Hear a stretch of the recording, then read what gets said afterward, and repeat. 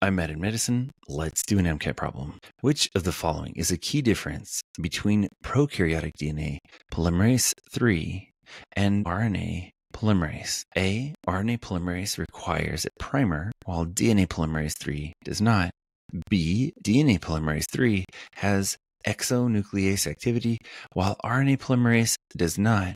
C. RNA polymerase synthesizes in the 3' to 5' direction, while DNA polymerase 3 synthesizes in the 5' to 3' direction. Or D. DNA polymerase 3 uses a DNA template, while RNA polymerase uses an RNA template. So the answer here is B. DNA polymerase 3 has exonuclease activity, while RNA polymerase does not. DNA polymerase 3 is responsible for DNA replication, a process that requires extremely high fidelity. 3' prime to 5' prime exonuclease activity allows it to proofread, which prevents errors. RNA polymerase performs transcription, but does have a higher error rate and does not have the kind of proofreading mechanism that DNA polymerase 3 has.